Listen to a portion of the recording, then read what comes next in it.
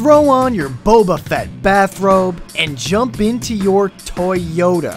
Because in a galaxy not so far, far away, this is a Star Wars themed episode of LÜT. Let's start things off with this Swarovski Crystal Darth Vader helmet. Put on by DKE Toys, the Vader Project toured the country featuring custom Darth Vader helmets created by hundreds of artists. Or you could just wear Luke Skywalker's original pants, literally, for $75,000. But if dressing up your baby is more important, make sure to pick up one of these Yoda beanies that actually makes babies look like a wise old Jedi. If you've yet to procreate, dress up your dog with one of these handmade dog collars. Or get your lady friend a customized Star Wars bra. Alright, it's getting a little hot in here, so let's cool things off with some ice, shaped like a Death Star, or Darth Vader, or Han Solo. For flavored ice, make a popsicle with this handy lightsaber popsicle maker. And invite your friends over for the big celebration with these lightsaber invitations. So you can finally make use of this wedding cake topper.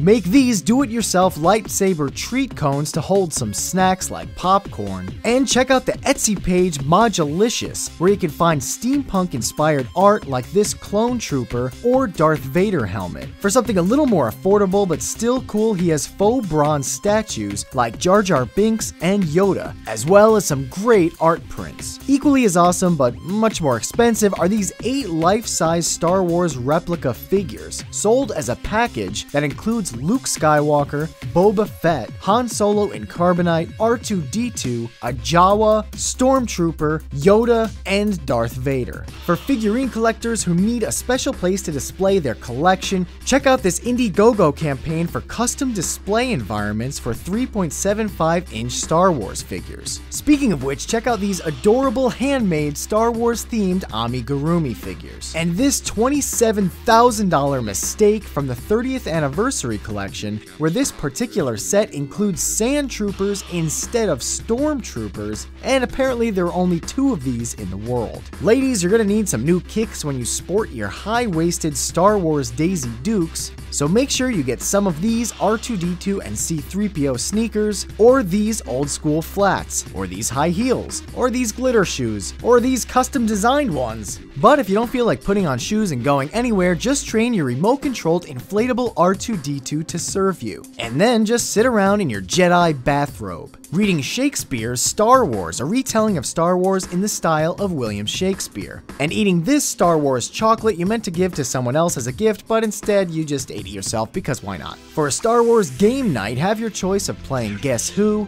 or test your knowledge with the Star Wars Trivial Pursuit game. Test your dexterity with Star Wars Operation, or test your patience to finish a game of Monopoly Star Wars style. Just remember, may the fork be with you, while aiming your force at these Star Wars toilet targets. And as always, thanks for watching.